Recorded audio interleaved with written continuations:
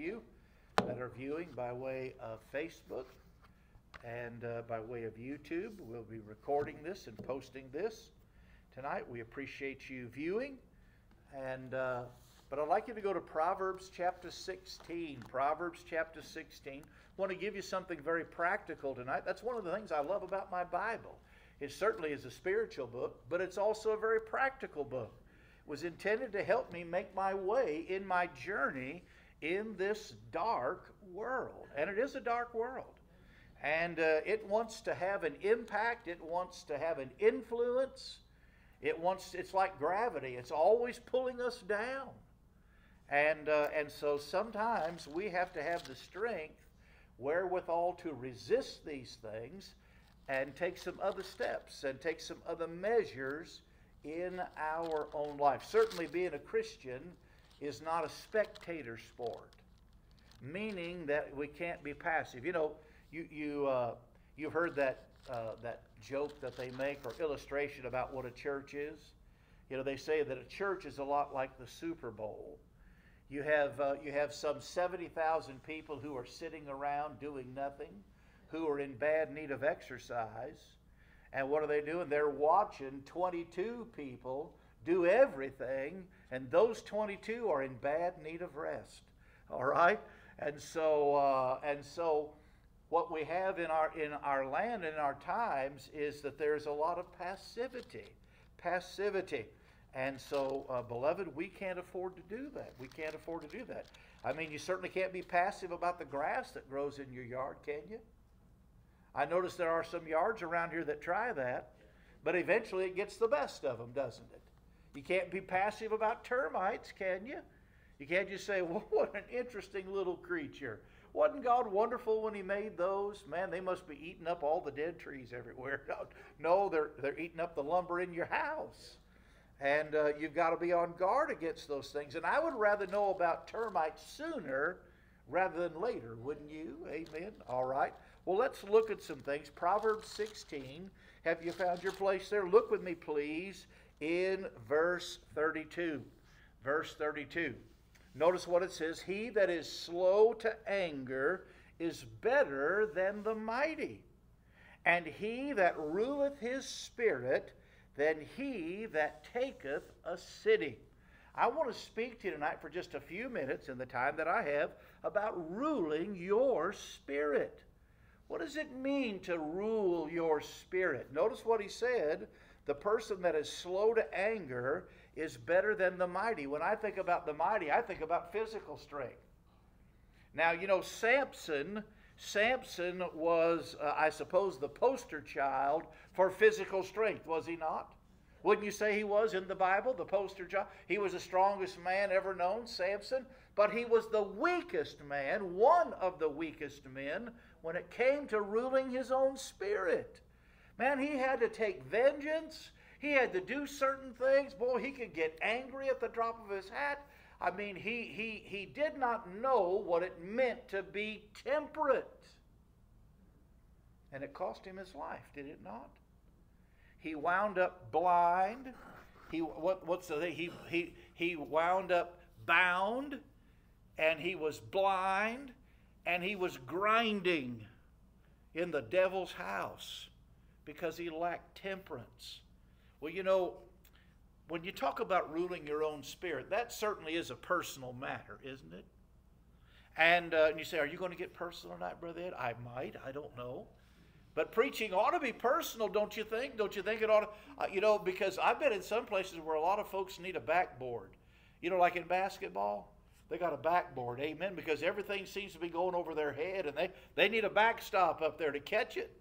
And uh, and I don't think that about you all, but uh, but you know, but how we handle difficulties, how we handle uh, distresses, how we handle sometimes depression or depressing things, how we handle disappointments. Uh, they all kind of tell a little bit about us, you know, and those are not the only things. There's a thousand other things that we face weekly, monthly, and sometimes daily in our lives. And typically, when we think about this, because of the context here, it's talking about temper, it's talking about anger, unjustified, Because not all anger is unjustified. Some anger, sometimes it's right to be angry. So let me put a little balance on there. Was the Lord Jesus angry? Yes, he did. He took a cat of nine tails. He turned those tables over, didn't he? In the, in the temple, he said, You've made my father's house a den of thieves. It's supposed to be a house of prayer. And he had what was what's called righteous indignation. All right? And so typically when we think about this passage, or in particular because it's talking about anger here, that usually we think about ruling our own spirit when it comes to our tempers. Well, that's only a part of it. What about fear? You know what fear does to people? Sometimes it paralyzes them. You know, when something, uh, sometimes when something catastrophic happens, they're frozen. Their fear has so captivated them, they don't know what to do. And so they don't respond when they should respond. Uh, sometimes, sometimes it's uh, sometimes it's not just fear. Sometimes it's sorrow. Can a person over sorrow? Yes, they can. Do you know that that happened to Aaron? Aaron oversorrowed for some sons. And the Lord finally had to come along to him and said, basically, hey, you need to straighten up. That he was oversorrowing about these things. And it's possible that, uh, that that just gets the best of you over time. And, and sometimes it can be about lust. Sometimes it can be even about unbelief. When unbelief creeps in, it hates to pack up and leave. It likes to stay and spread out and affect other areas. And so, um, so we all sometimes run into these things. But each of those elements, in addition to temper and so forth and appetites, they all need to come underneath the authority of this matter uh, and be equally controlled. It's a part of ruling your spirit, ruling your own spirit.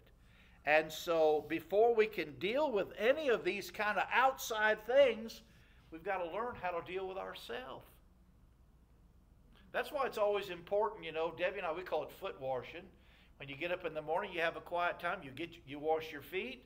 And I've said sometimes, well, I, am washing my feet back at the camper. I, I, you know, we, we, just use it between us. Now the secret's out. Now you know, all right? And, uh, uh, but sometimes we say that, you know, we're going to have that quiet time, or sometimes I have it down here. Most times I do. And, uh, but, but, but the point is, is that you're not really ready to face anybody until you've dealt with yourself.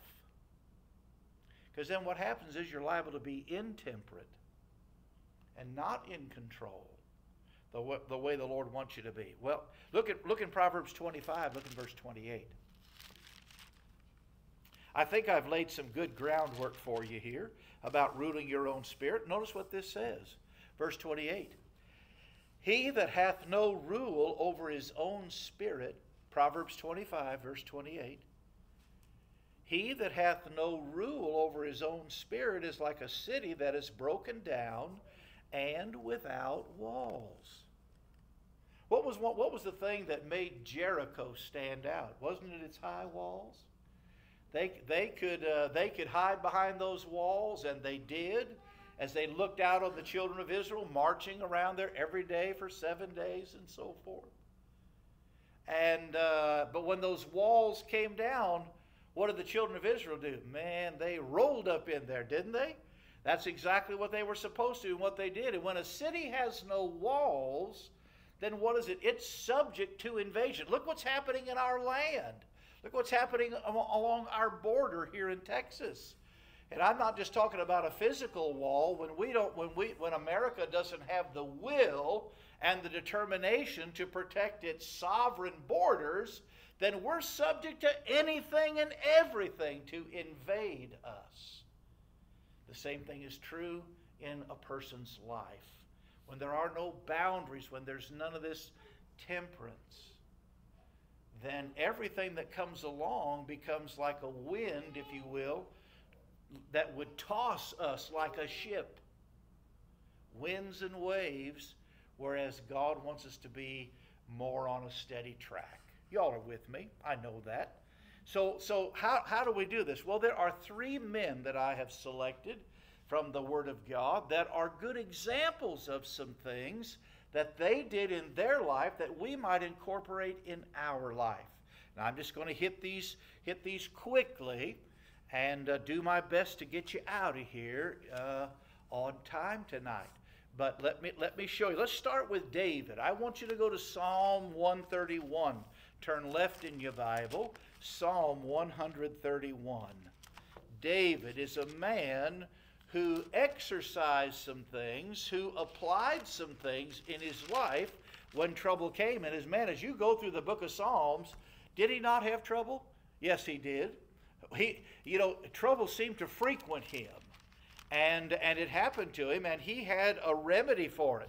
I want you to I want you to notice something with me here. Look in Psalm 131, a short psalm, just three verses, and let's read it. Notice what notice what it says. This is one of those song of degrees as they were going up to Jerusalem to worship, and uh, these were sometimes called the song of steps. Taking these steps as they went upward in Jerusalem. Notice what it says. He said, Lord, my heart is not haughty nor mine eyes lofty, neither do I exercise myself in great matters or in things too high for me. I, I, want you to notice the first thing about him is that David humbled himself.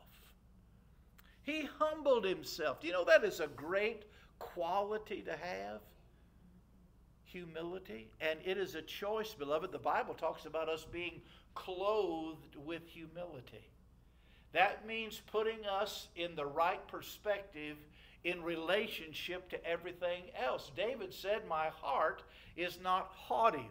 You know, it's one of those things. You remember the six things does the Lord hate? Yea, seven are abomination. The very first one is a proud look. That's that haughty spirit. Have you ever met somebody? Have you ever met somebody? You don't like that? Uh, you know, there's a good illustration about that. Have you heard about the frog and the two ducks? Have you heard about them? You know, these were these ducks were used to being up north, like the kind we had in Alaska when I lived up there. And that frog, he noticed something from his lily pond and from the from the waters up there. Every time the weather changed, man, those ducks would take flight and go, and they would always head south. And uh, and so finally, he he he you know hopped over there to him and swam a little bit and he said, Man, I can tell, I can feel in the air the temperature is changing. He said, I know it won't be long, but the two of you all are going to be leaving. And he said, I, I want you to take me with you. And he said, I, I, I want I, I've heard y'all go south where it's warmer. And he said, Man, I could be out on my pad and, and I could I could just sit out there and bask in the sun and oh just be so comfortable. And he said, if you would just take me. And they said, well, well, how in the world do you suppose that we could we could carry you like that, man? We we, we couldn't. Uh, I, I couldn't carry you on my back. I mean, you're a big bullfrog. Look at you. And he said, well, I've given it some thought. He said, I thought about this. He said, I really don't have a way to hang on to you while you're doing all that flapping. He said, but I did come up with something. He said, I think that two of you could carry me. And he said, I've got this stick I found over here. And he said, if you'll just put it in between your bills, this two sticks, I'll get on here with my big old mouth and I'll hold on while you fly south. They said, Are you sure? Have you thought this through? Yes, I have. I, I believe you can do it. I believe you can. Well, the weather changed. They agreed. The weather changed. Sure enough, man, they got that stick. They put it their bills, and man, off they took. And he's holding on in the middle. And man, they get out over Alaska and they're going down through southeastern and everything. They finally make it through the flyway. People are looking up and say, What a strange looking sight. Look at that those two ducks and that frog right there. And so they get down, I think some, probably somewhere over, uh, I want to say maybe somewhere over Missouri on the way down. And man, they're seeing all them things. And you know, folks from Missouri, that's the show me state. And, uh, and, and they, they saw that and they said, Man, look at that, those two ducks and that frog holding on right there. I said, Man, I wonder who thought of that. And the frog said, Me.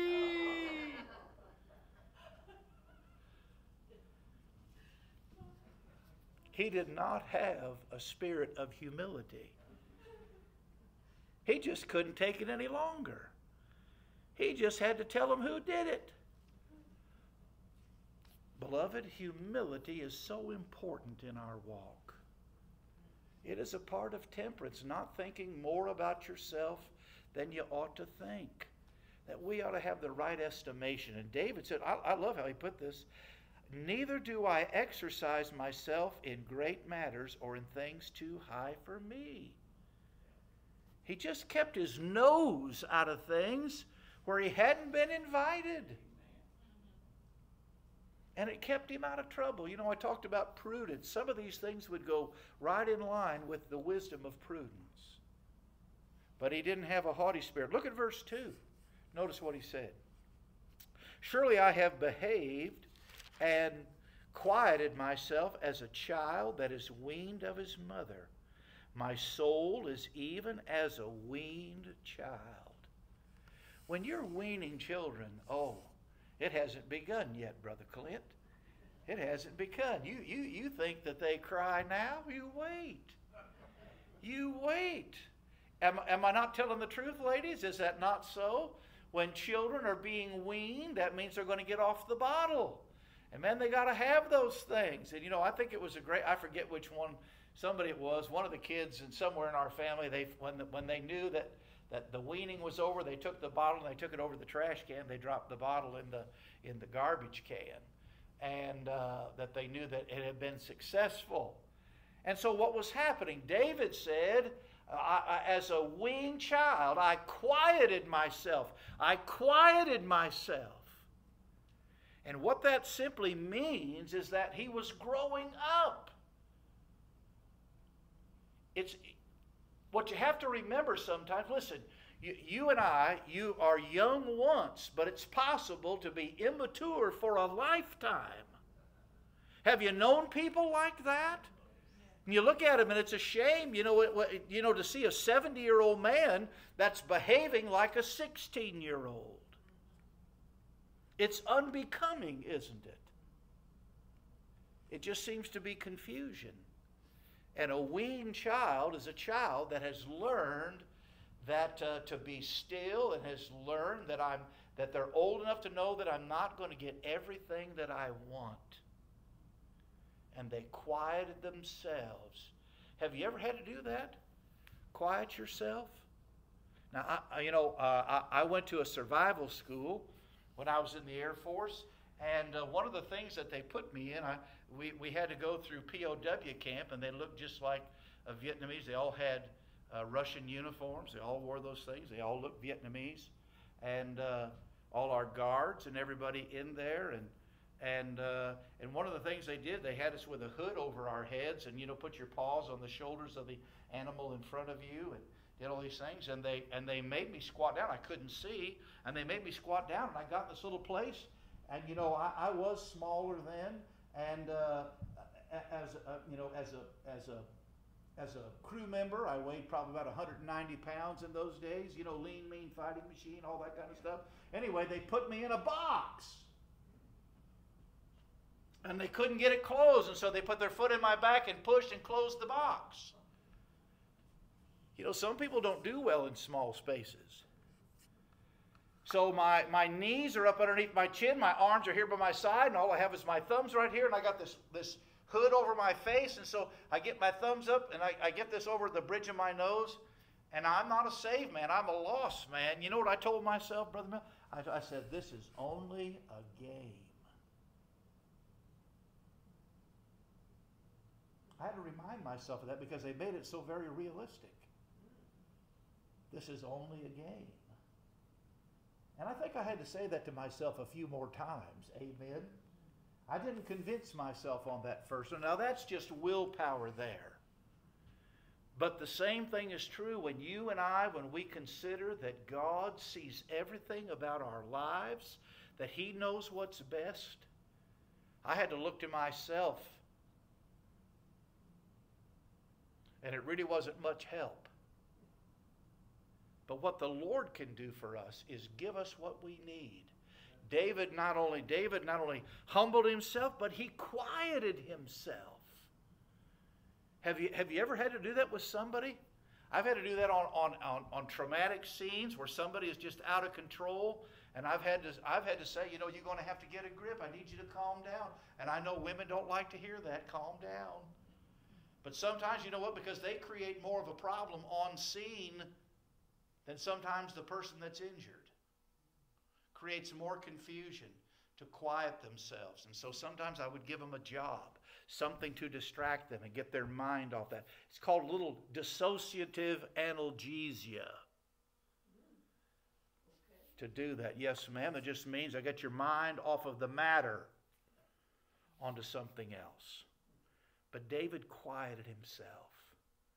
And sometimes, you know, look, I want you to look up sometimes. I, I thought about preaching it, but you need to look up sometimes the places in the Bible. Get you a concordance and look up the little phrase, stand still. You'll be surprised some of the interesting things that will happen when you and I learn to stand still. Didn't the Lord say, Be still and know that I am God? That's what we have to do sometimes. When things are kind of coming in on us, sometimes you just got to be still, particularly when it's coming from more than one direction. Sometimes that happens in our lives. Number three, I want you to look in Psalm 119 with me. Look in verse 52. Psalm 119, verse 52. These are the things that David did. Psalm 119, verse 52. David comforted himself. How did he do that? Notice what he says I remembered thy judgments of old, O Lord, and have comforted myself. Do, you know what he took comfort in? That word judgments there, what he's meaning is the Bible, in the Word of God. Testimonies, statutes, judgments, uh, all these things are, are all references to the Word of God. David took comfort from the Word of God. I mean, this is where the promises are found. Promises, some promises belong to Israel.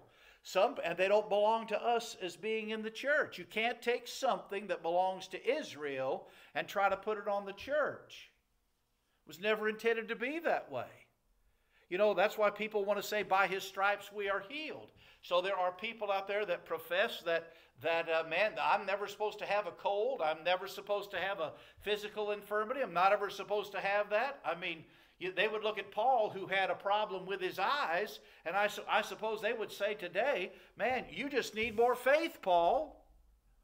But he sought the Lord thrice, and the Lord said, Hey, my grace is sufficient for thee. I'm not going to heal you of that. You say, well, then what are the stripes about? I think that has to do with, with, if you will, with our spiritual diseases that we have. By his stripes we are healed. The, the technical word for it is called expiation. If you look it up, it means to, to secure the atonement. For every sin, the death of Christ expiated our sins propitiation, a Bible word, has to do with the wrath of God. So not only did Jesus take care of the offenses, but he also satisfied the wrath of God, being our propitiation. And so here, David took comfort in the Word of God. And you need to know about the promises that belong to us, like, I will never leave thee nor forsake thee. That's a good place to start right there. Amen. Jesus Christ, the same yesterday, today, and forever. I change not. I am the Lord. All right? Uh, these are promises that you and I have. All the promises of God in Him are yea and amen. There's no maybes with God. And so, and so some of these things that belong to the church, you and I need to rejoice in them, bask in them, claim them. And you can be comforted by what's in the Word of God. Has it not ever happened when you've had some, when, when your peace has been disturbed and you go to the Bible and you get a word from God? Isn't that a blessing when that happens and you experience that in your life? Our enemies, the world, the flesh, and the devil, they want us to focus and fixate on the problem and not on the promise maker. They try to get our attention going in other places. David humbled himself. David quieted himself. David comforted himself. David encouraged himself. Look in 1 Samuel 30. I probably that's as far as I'm going to get tonight. Look in 1 Samuel 30 with me. Turn left from the book of Psalms. I have two other men to go, but I'm not going to give that to you. You'll have to come back. 1 Samuel chapter 30. 1 Samuel is right before 2 Samuel. All right? I'll help you. I like being a help. Amen. You're welcome, brother. 1 Samuel 30. We're talking about ruling your own spirit. Could you see where these things, where David humbled himself? Then his pride wouldn't be on the line. He wouldn't be offended so much. You know, I think it's like what Spurgeon said don't be upset if other people don't think very much of you. He said, really, you're a lot worse than even what they think. And it's true. It is true. So I think where these things, humbling myself, quieting myself, I mean, I, that, we get reminded, uh, we should be reminded, hey, I'm still on the throne. When I say I'm, the Lord is still on the throne. Uh, nothing, nothing escapes his vision, nothing escapes his knowledge. David comforted himself, took comfort in those things. The sovereignty of God does not frighten me, it strengthens me, as well as it should you. That the Lord ruleth over these things, does he not? Yes, he does. And then look at this. Fourthly, David encouraged himself. Look at 1 Samuel 30. Look in verse 6. A little bit of the story here. David felt like, man, we need to go over here and get these. Uh, get these guys, these Philistines, they had gathered together and so forth. And, uh, and so David was at Ziklag, and the Amalekites had invaded the south. And you know, man, the Amalekites in Israel, they didn't get along very well. Had a lifelong problem. These guys, they crop up all the time, don't they? They it seems like they do. And they had, they, and what did they do? They invaded the south uh, and Ziklag. Look at verse one. And Ziklag and burned it with fire. And had taken the women captives that were therein. They slew not any, either great or small, but carried them away and went on their on, on their way. So while David is over here dealing with these Philistines, man, here come here comes another enemy, the Amalekites. Let's go in here, man. The, you know, the cat's away and the mice are going to play. And that's what they did. So they invade them here and they gather all these captives. They take their women, they take all their things.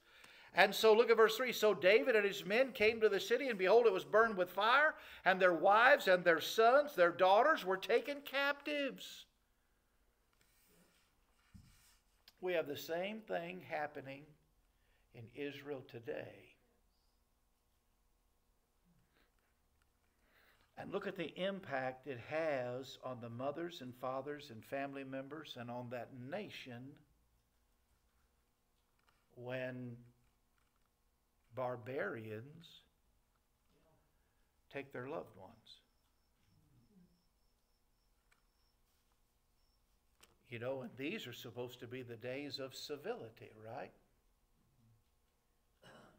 I mean, education being the god of part of the gods of this world, education produces civilization, civility. But it didn't. They burned people alive and butchered them and raped and and then now executed six more of these. I mean, these families are in torment. Now, here's David and his men. They, they're, they've already been fighting, you know, and when you're exhausted a little bit, and I'm physically speaking, you know, when you're tired, you don't do too well. Sometimes you get grumpy when you're tired. Look at verse 4. Then David and the people that were with him lifted up their voices and wept until they had no more power to weep. David's two wives were taken. Look at verse 6.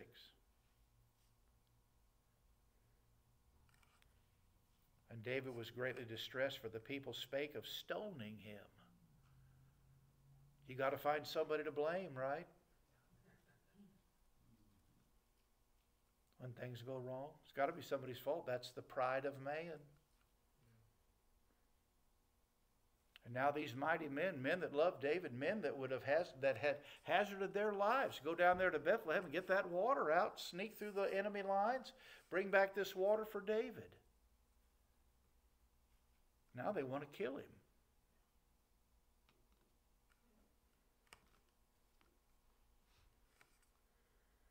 Because the soul of all the people was grieved, every man for his sons and for his daughters. You know, when God puts a but in, it's usually an indication of grace. Whenever God butts in. When men butt in, it's usually an indication of unbelief. I'd like to do that, but we've never done it that way before. You know, they got a bad, they got a bad case of the mites. You know, sheep get mites, right? Them little bugs. Churches get mites. A sheep in there. Well, we might do this. We, we, we might do that. We don't know. We just might. And they were grieved. David was grieved. But it says that David encouraged himself in the Lord. In other words, David didn't panic. David didn't come unfrazzled when it looked like mutiny was everywhere he looked. So, so what happened here? Well, look at verse 8. Uh, correction, verse 7. And David. So you see the word and there? It joins verse 7 back to verse 6. So as soon as David, how does David encourage himself? Right here. And David said to Abiathar the priest, Ahimelech's son, I pray thee, bring me hither the ephod. What is he going to do? David is going to pray. One of the Psalms, David says, what David said, that he said, I, I, you know, they, they say that they love me and they do these things, but I have given myself to prayer. And that's what David did to encourage himself when it looked like all hope was gone, what did David do? He got alone. He got apart with God, beloved. And this is where part of you and I ruling our own spirit is going to the source of strength, the source of power. That's, that's why Paul encouraged the saints at Ephesus be strong in the Lord and in the power of his might not our might. David couldn't do anything for those men in the sense of defending himself against them. He couldn't do that, but he had confidence that the God of heaven could help him. And you must never lose that, beloved. As long as God is alive, there is hope. And that we can look to him. David believed that. David had faith to pray.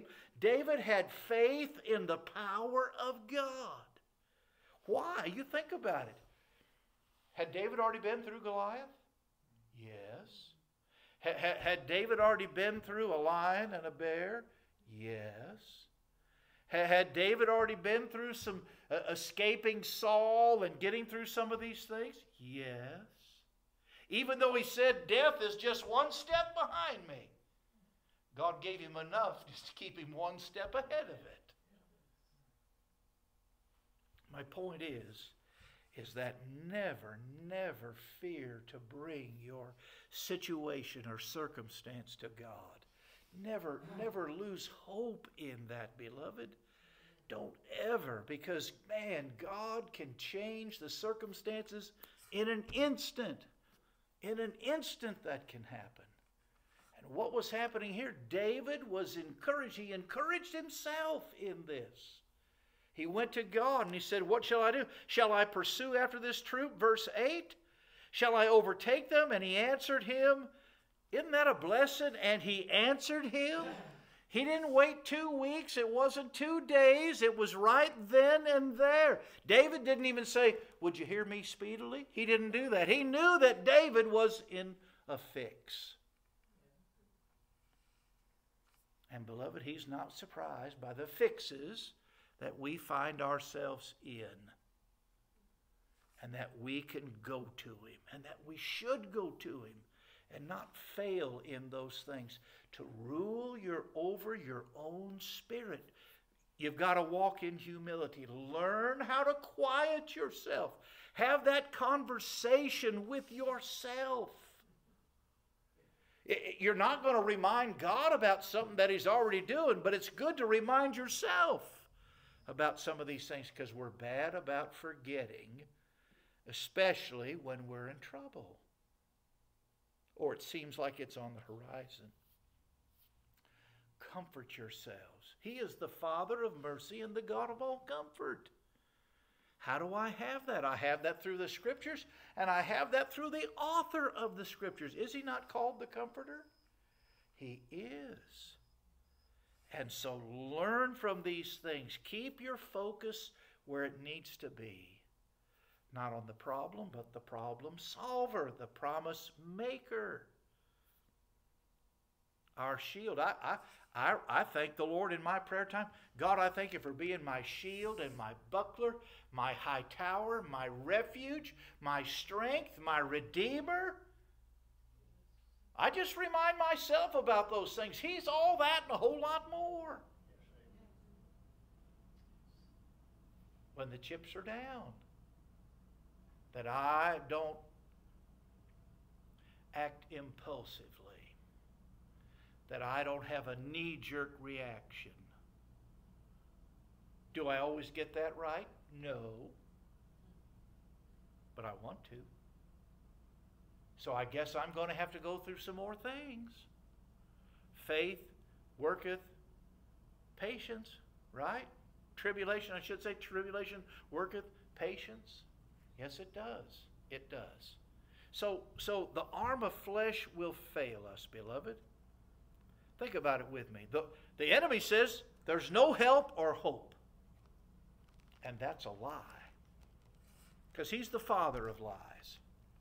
So, what do I have to remember? The Lord says, Be strong. The Lord hath not given us a spirit of fear, but of love and power and of a sound mind power and love and a sound mind. Because fear has a way of eroding our faith.